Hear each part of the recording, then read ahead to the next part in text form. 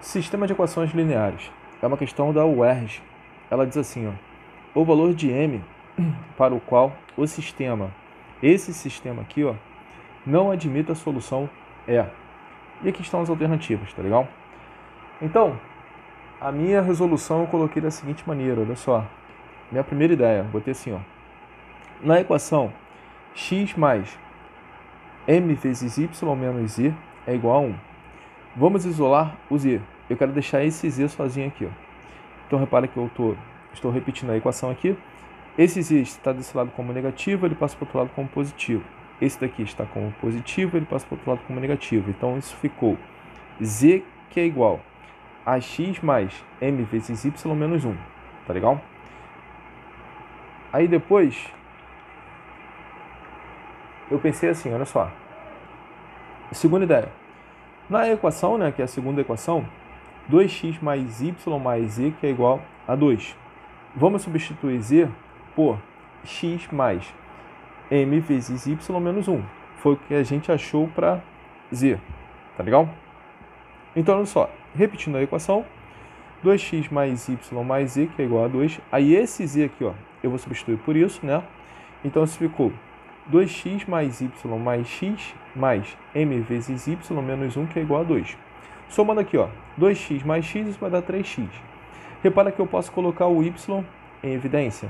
Então, isso fica 1 mais m vezes y, aí menos 1, que é igual a 2.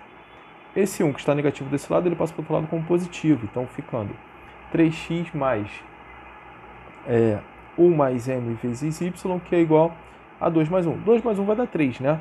Então, ficou 3x mais 1 mais m vezes y, que é igual a 3. Tá legal? Aí, a minha terceira ideia.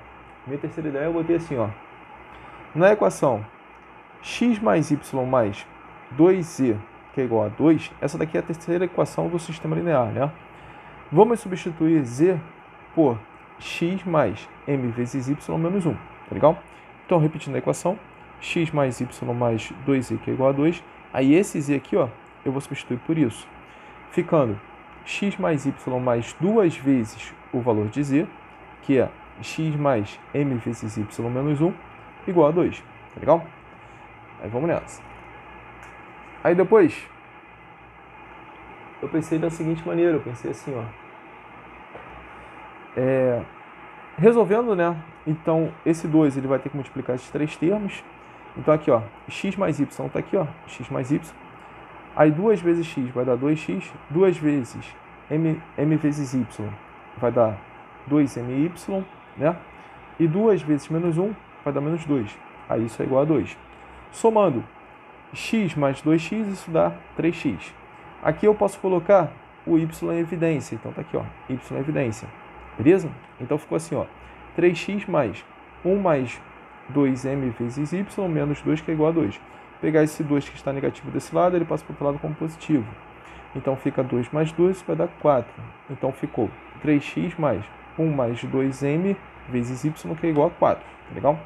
Aí a minha quarta ideia, minha quarta ideia ficou assim, ó. Agora vamos resolver o sistema de equações. Então repara que a hora que eu tenho duas equações é em função de x e y, né? Então olha só. Essa equação aqui, ó, 3x mais 1 menos m vezes y, que é igual a 3. E a outra equação que é 3x mais 1 mais 2m vezes y, que é igual a 4. Repara que esse termo aqui é 3x positivo, esse termo aqui também é 3x positivo. Eu quero somar essas equações para poder cancelar a variável x. Então, o que, que eu vou fazer? Eu vou multiplicar todos os termos desta equação por menos 1, tá legal? Aí, com isso, esse termo aqui ele vai ficar negativo. Quando eu somar, eu, eu vou conseguir cancelar a variável x, tá legal? Então, vamos nessa. Então, isso vai ficar assim, ó.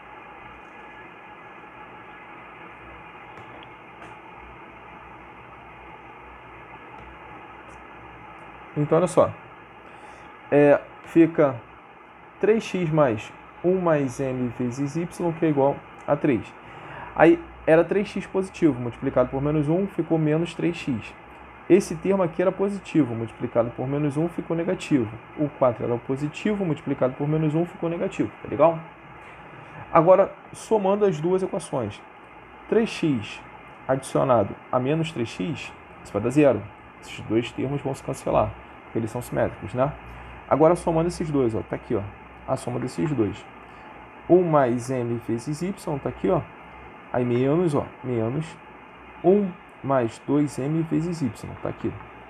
Aí 3 adicionado com menos 4, isso dá menos 1. Tá legal? Agora aqui, olha só, eu posso colocar o y em evidência e coloco dentro do parênteses que sobra. 1 mais m, tá aqui, ó, 1 mais m. E aqui, ó, menos 1 mais 2m. Menos 1 mais 2m. Aí isso tudo multiplicado por y, que é igual a menos 1. Tá legal? Então, olha só, esse sinal de menos vai trocar o sinal desses dois termos. Beleza? Então, isso fica... 1 que é positivo fica negativo. 2m que é positivo fica negativo. Então, aqui, ó, 1 adicionado a menos 1, isso vai dar zero. m adicionado com menos 2m vai ficar menos m. Aí isso tudo multiplicado por y, que é igual a menos 1. 0 adicionado a menos y, isso vai dar menos y. Então fica menos y, menos m, né? 0 adicionado com menos m vai ficar menos m multiplicado por y, que é igual a menos 1. Eu vou multiplicar nessa equação todos os termos por menos 1, tá legal? Com isso eu troco o sinal de todos os termos. Menos my multiplicado por menos 1 vai dar my. Menos 1 multiplicado por menos 1 vai dar 1. Agora eu vou pegar esse m aqui, ó, que está multiplicando, e passo para o outro lado dividindo. Beleza? Tranquilo? Aí, o que acontece? A minha observação é o seguinte, olha só. Repare que o numerador é igual a 1. Logo, o denominador m tem que ser igual a zero para que o sistema não admita solução. Logo, gabarito é letra A. Porque, olha só, um valor, um valor positivo, né, dividido por zero, isso não tem solução, porque matematicamente a gente não pode dividir por zero, tá legal? Então, para que o sistema não admita solução, o m aqui, ó, tem que assumir o valor de zero. Então, por isso que o gabarito é letra A. Valeu, galera. Um abraço. Até a próxima.